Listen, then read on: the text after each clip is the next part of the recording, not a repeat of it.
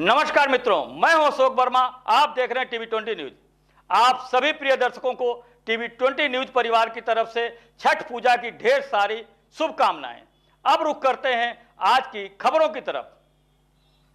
आजमगढ़ के स्थित नेहरू हाल में आगामी शिक्षक क्षेत्र हेतु विधान परिषद चुनाव के मद्देनजर एकल निर्वाचन 2020 प्रशिक्षण का कार्यक्रम जिलाधिकारी राजेश कुमार की अध्यक्षता में हुआ। इसमें पीठासीन अधिकारी व पोलिंग पार्टियों को प्रशिक्षण दिया गया। कार्यक्रम में मुख्य विकास अधिकारी व एडीएम एनपी सिंह सहित ज़िले के सभी एसडीएम और पीठासीन अधिकारी शामिल थे, जिसमें मास्टर ट्रेनर कुलभूषण सिंह के द्वारा ट्रेनिंग दी गई। इस चुनाव में विशेष तौर पर कोरोना को देखते हुए ज़िले के हर बूथों पर कोरोना डेस्क बनाए जाएँगे। इसमें मौके पर थर्मल मीटर और सैनिटाइजर और मास्क उपलब्ध रहेंगे। जो भी मतदाता वोट डालने आएगा, उसको निर्देश भी दिया जाएगा कि वो अपना मास्क लाकर ये बूथ में प्रवेश करें? जिलाधिकारी ने सभी अधिकारियों और कर्मचारियों को सकुशल विधान परिषद चुनाव को संपन्न कराने के लिए निर्देशित दिया है। क्या कुछ कहा जिलाधिकारी ने?